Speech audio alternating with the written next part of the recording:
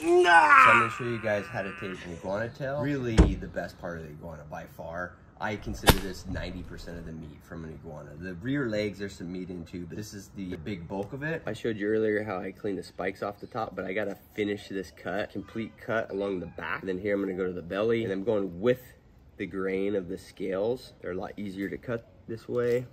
Then I'm gonna come to the small end of the tail and they don't have a real distinct membrane between the hide and the, the muscle. Grab a hold of it with a pair of pliers, channel locks, or a pair of lineman pliers or something.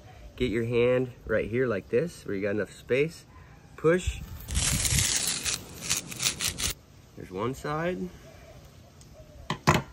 Flip it over. Four loins on an iguana tail. One, two, three, four.